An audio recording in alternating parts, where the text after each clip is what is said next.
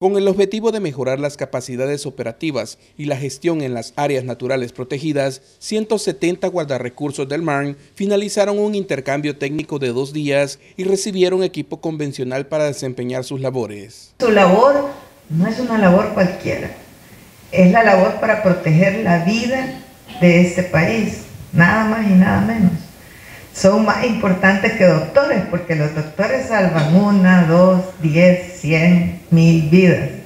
Nosotros estamos salvando la vida de todo el país, no es menor.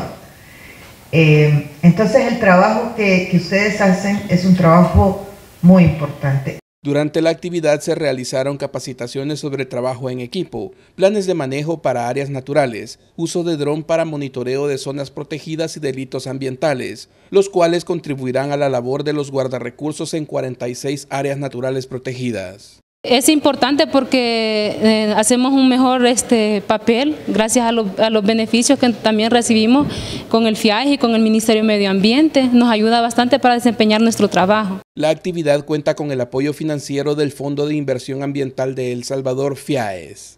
Con este equipamiento se está contribuyendo al mejor desarrollo del trabajo y a poner pues esa esta profesión como una de las profesiones más nobles que existen, porque estamos conservando los recursos naturales, conservando la vida, desarrollando estas estrategias de conservación y enfrentándonos a graves amenazas en el territorio.